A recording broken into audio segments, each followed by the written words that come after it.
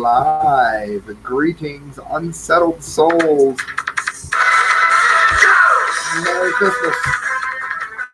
Yes, indeed, it is Christmas. I didn't know if I was going to get to this early enough or not, but uh, this way, if you guys are waiting for someone to come to your house on Christmas, hopefully they show up and uh, you already have this out of the way because I know that some people have followed all 12 days and I thank you. Um, already got a viewers trickling in. Greetings, welcome aboard, Merry Christmas. Um, the first couple stories that I'm going to get to are a bit grim, but don't worry because uh, as I was saying to my Facebook friends, this is going to be the uh, the single funniest uh, idea for Christmas Eve ever that I am getting to at the end of it. Scully over here, I think he hadn't been intoxicated.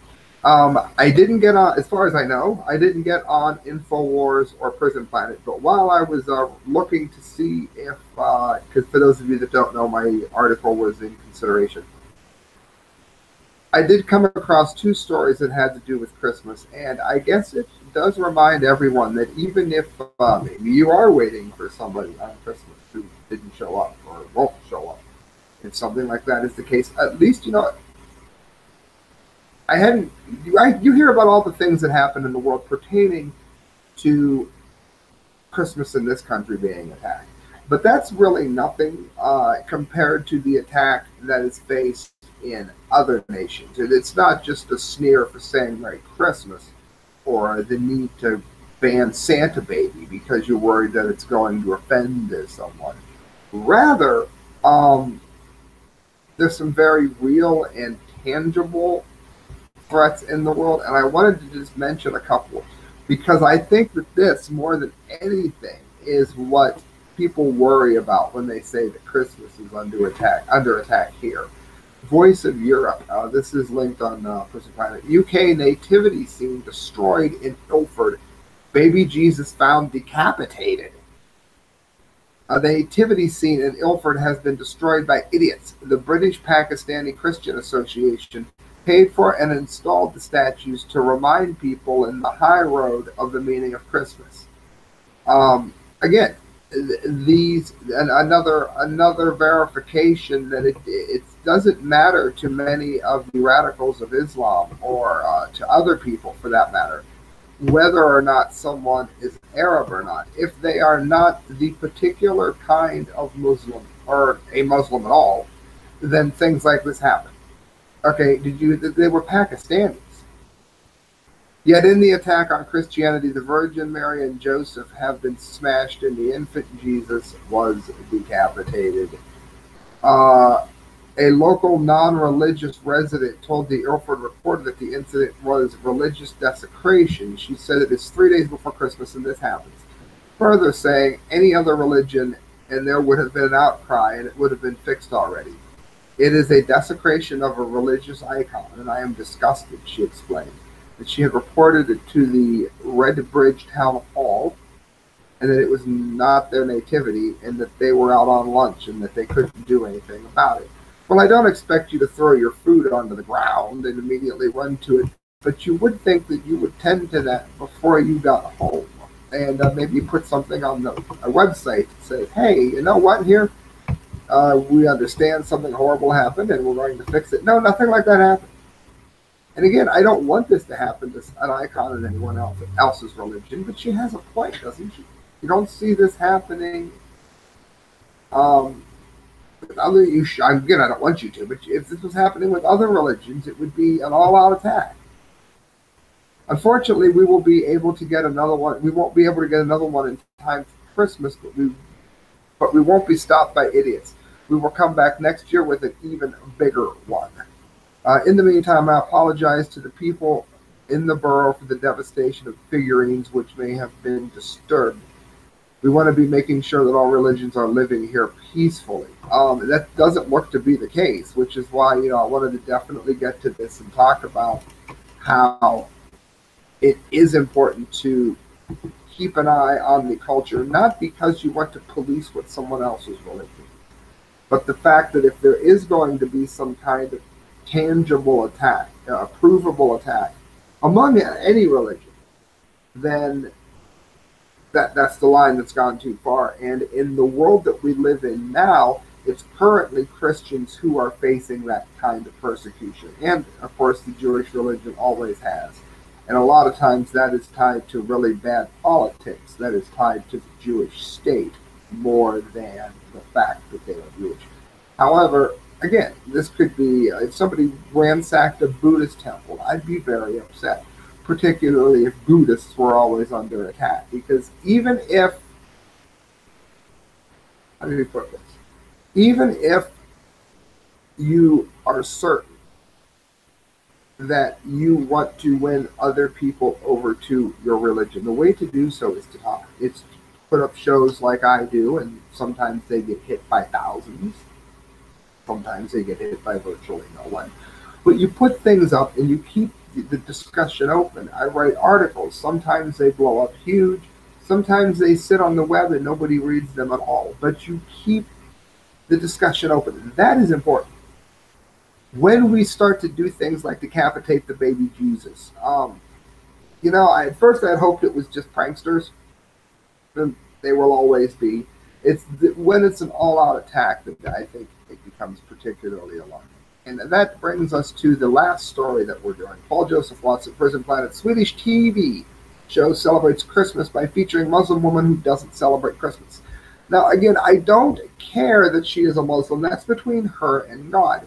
My point is, do you think that uh, during Ramadan there is a chance that you're going to see someone of the Christian faith who doesn't celebrate it on a major network. No, there would the, the, the studio would be burned down if that happened.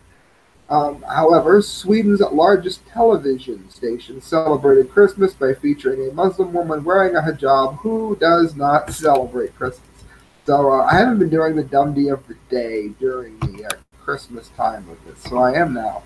TV4, I'm going to butcher this name. Uh, Nyhets Morgan N-Y-H-E-T-S-M-O-R-G-O-N, showcased the cooking talents of veil-covered Camelia Hamid, who was invited to bake Christmas classics despite not personally recognizing the Christmas festival. Of course you do not celebrate Christmas because you're a Muslim, said program owner Andrews Philball during the segment. Ahmad replied that she didn't celebrate Christmas, and she, but she did like cooking, prompting Philabad to celebrate multiculturalism and the fact that different cultures borrow from each other. When the host asked uh, Hamid if she incorporated any elements of Christ- Christmas into her life, she responded that snacks and lighting were cozy at this time of year. Earlier this year, the same TV show decided to celebrate the country's traditional midsummer festival by having a Muslim woman in a hijab cook kebabs. Now, again, the point isn't that we don't want to be represented that we don't want other people represented within the, the network, even on Christmas Day. We don't want to go excluding people on Christmas Day. It's not about hate. It's not about any of that. I hope that the woman who was baking the cookies, I hope her cookies came out absolutely wonderful. And I hope that she has a wonderful Christmas in whatever way she chooses to celebrate. My point is, they didn't have somebody on there baking cross cookies saying God bless. And anytime, but pay attention to this, sort of the, the tie in here. Anytime that you have a culture deliberately pulling people away from God, even if you don't believe in God, that's fine. You have to wonder what they're pulling you towards. What precepts are they wanting you to get fed into your head in the media?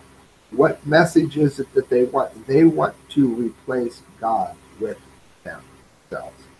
All right, friends, and I know that was kind of glum, so I'm going to give you the ultimate, I mean the absolute, absolute funniest thing you can do on Christmas Eve. And I should have said this uh, during the show yesterday, and I forgot. So, hello, hello, look at all Barb, Marvin, Deidre, Vincent, welcome.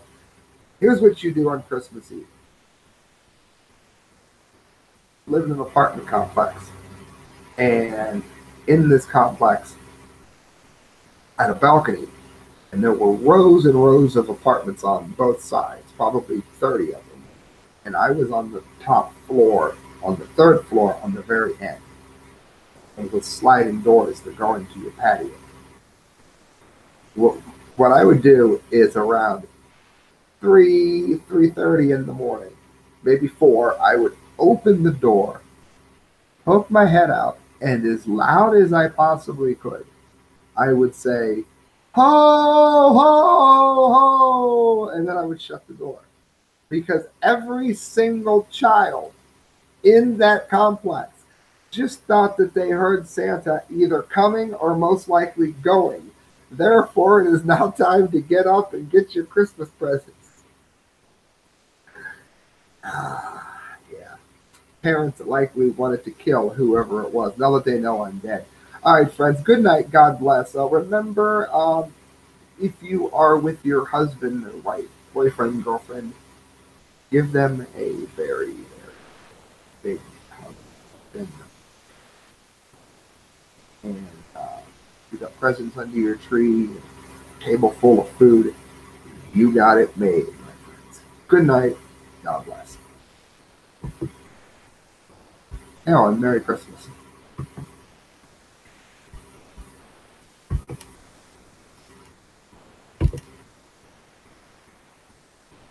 Merry Christmas.